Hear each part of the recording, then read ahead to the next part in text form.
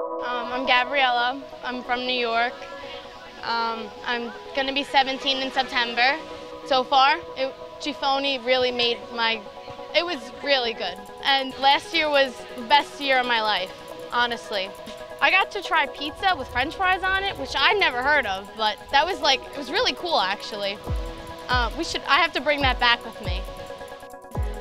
This year in December when I got the email, I cried and my dad walked into my room and he goes, oh my God, Gab, what's wrong? And I was like, Dad, I'm going back to Giffoni. Can I go, please, please, please? And he's like, yeah, sure. So I emailed them back like within like the same day or so. These movies are insane. Like I love them. I they're just so different. Like in America, I feel like all of our songs and movies are about sex and drugs and partying. These actually have stories, things to tell me. They want me to take something away with it. I don't know, I, I hope to bring back that pizza. I hope that I see that pizza 20 years in the future. Um, just everything here is so nice. The people, they walk, they don't run. Like it's so nice.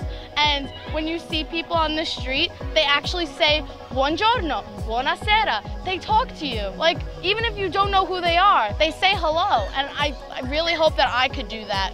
I've never seen anything like it. There's french fries on the pizza. Like. I'm gonna stop talking about pizza now. Absolutely, Giffoni made a difference in my life.